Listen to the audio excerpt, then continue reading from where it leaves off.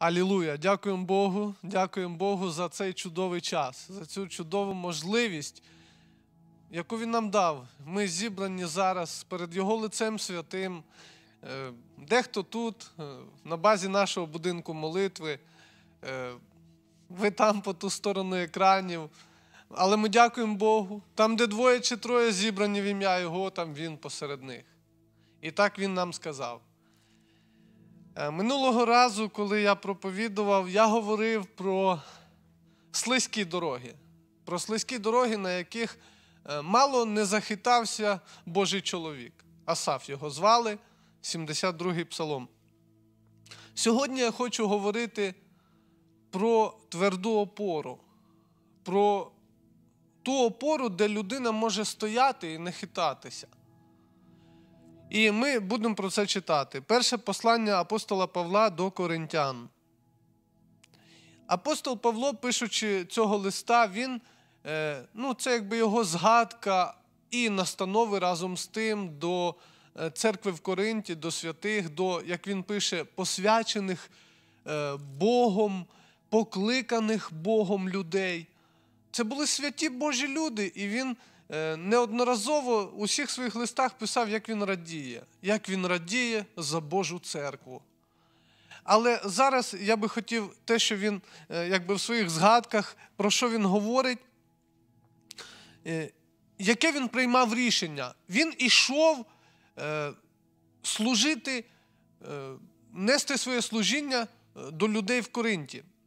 Яке він прийняв рішення? Ми читаємо, це другий розділ. Перше послання до коринтян. Апостол Павло говорить: А я, як прийшов до вас, браття, не прийшов вам звіщати е, про Боже свідоцтво з добірною мовою або мудрістю. Апостол Павло про себе самого говорить: я не хотів звіщати Боже свідоцтво з добірною мовою або мудрістю. І виникає питання: невже апостол Павло не мав добірної мови? Мав. Він мав мудрість? Мав мудрість. Він би міг багато про що говорити. І е, багато хто і не міг би протистояти в усіх дискусіях проти його е, науки, проти того його рівня освіти, яке він мав. Але він прийняв рішення, і він сказав: Я прийшов Боже свідоцтво звіщати не з добірною мовою або мудрістю. І далі читаємо, бо я надумався нічого між вами не знати, нічого між вами не знати, крім Ісуса Христа і того розп'ятого. Я звернув увагу на ці слова, і це дуже серйозні, дуже важливі слова. Апостол Павло ні про що не говорив, він тільки говорив про Ісуса Христа і того розп'ятого.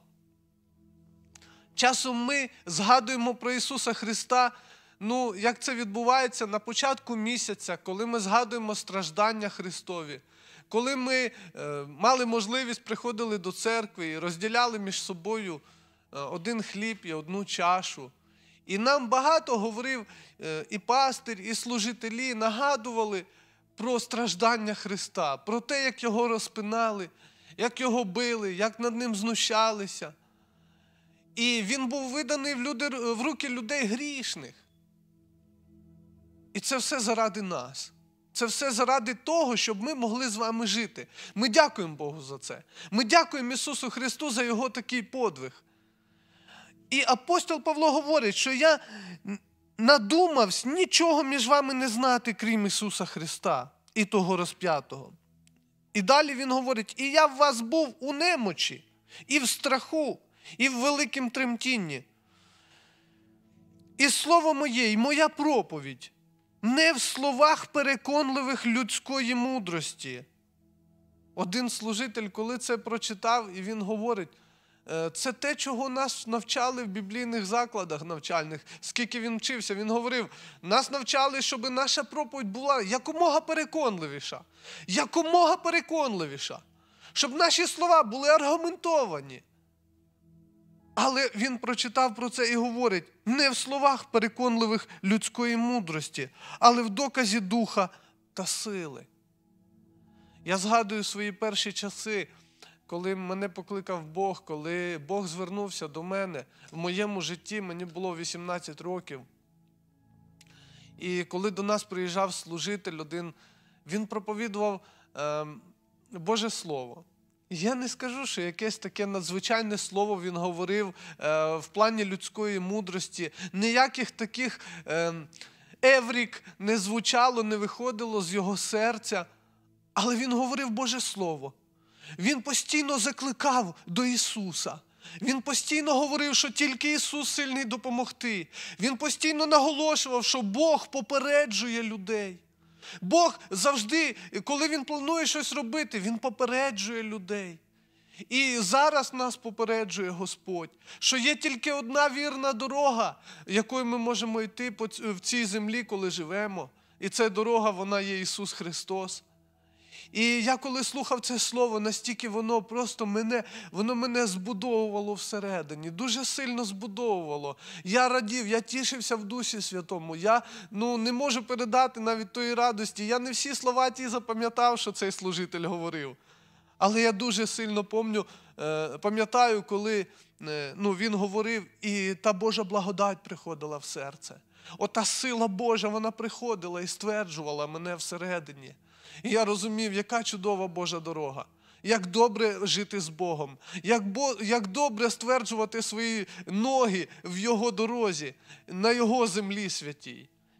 І апостол Павло далі говорить, щоб була віра ваша не в мудрості людській, але в силі Божій.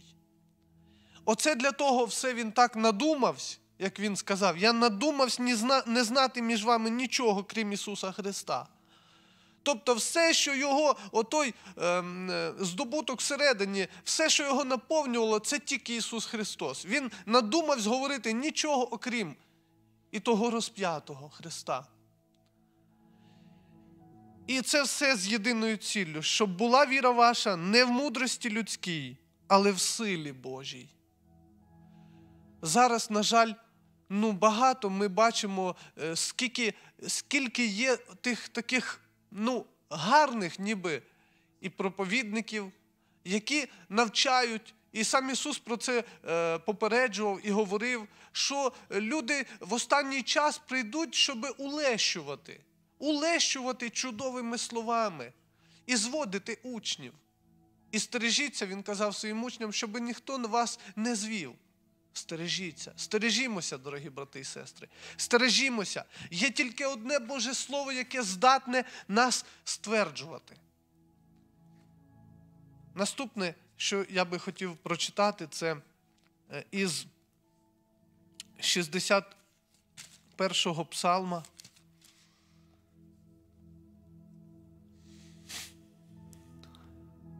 Давид молиться до Бога. Український переклад е, в дужках 62-й. Тут. І ми читаємо: тільки від Бога чекай у мовчанні, о душе моя, від нього спасіння моє. Тільки Він моя скеля і спасіння моє. Він твердиня моя, тому не захитаюся дуже. Доки будете ви нападати на людину, усі хочете ви розтрощити її немов мур той похилений, мов би паркан той валющий. Вони тільки й думають, як би зіпхнути її з висоти. Вони полюбили неправду, благословляють своїми устами в своєму ж нутрі проклинають. Тільки від Бога чекай у мовчанні, о душе моя, бо від нього надія моя, тільки Він моя скеля і спасіння моє, Він твердиня моя тому не захитаюсь. У Бозі спасіння моє і слава моя, скеля сили моєї, моє пристановище в Бозі. Мій народе, кожного часу надійтесь на нього, серце своє перед Ним виливайте, Бог для нас пристановище. Справді, людські сини, як та пара, сини й вищих мужів обмана як узяти на вагу. Вони легші від пари всі разом. Не надійтесь на утиски, не пишайтесь грабунком. Як багатство росте, не прикладайте свого серця до нього. Один раз Бог сказав, а двічі я чув, що сила у Бога. І в тебе, о Господи, милість, бо відплачуєш кожному згідно з ділами Його. Неодноразово в цьому псалмі Давид наголошує і говорить, що тільки від Бога, тільки Бог моя скеля, тільки Бог. Я коли перший раз читав цей псалом, це було багато років тому. І так теж Дух Святой приходив до мого серця і давав мені такі настанови. Я дивився довкола в свою кімнату. І ви знаєте, в моїй кімнаті я бачив тільки одні двері. Тільки одні двері. Я бачив вікно, але я розумів, якщо я вийду з того вікна, то трошки можна покалічитись, бо дещо високо. В кімнаті тільки одні двері. І ну, дизайнери, які проєктують кімнати, я не дуже, звісно, розумію ту справу дизайнерів, але ну, чудова кімната з одними дверима. Прохідна кімната, вона вже не настільки затишна. Є тільки одні двері. І тільки в одні двері можна ввійти і вийти. Ми е, бачимо тут таку настанову. І говорить Давид, що тільки Бог, тільки Бог є скеля, тільки Бог є е, твердиня. І говорить він наступне: я не буду хитатися. Е, є е, такий, е, був такий вчений Архімед, і він е, ну, такий мислитель і знайомий такий вираз речах Архимеда. І він колись сказав таку чудову фразу, такий вираз він сказав, що дайте мені де стати, і я поверну землю. Дайте мені де стати, і я поверну землю. І е, там був тоді цар того часу. Е, звичайно, це дещо таке відступлення. Е, і, можливо, вибачте мене до людської такої мудрості, але це як приклад. Як приклад того, що на землі відбувалося, і для нашої істини, про яку ми говоримо. І той цар, коли слухав такі думки Архімеда, він говорив: Та щось ти говориш, якісь несенітниці, докажи мені, докажи мені, що ти оце все, що воно працює в житті. І він зробив таку систему складну речагів, що зміг одним е, рухом руки корабля витягнути на берег. Ну, ось таке було. І знаєте, нам потрібно, людям нам потрібна опора, нам потрібна твердиня. В житті різні, як нас Ісус наголошував, Він говорив, що прийдуть вітри, прийде, потечуть ріки, і вони всі наляжуть на той будинок. Але той будинок, який був збудований на гарному фундаменті, він буде стояти. І наш фундамент це Ісус Христос, це наша основа. Пам'ятаймо про Його подвиг, пам'ятаймо про те, що Він віддав себе за нас.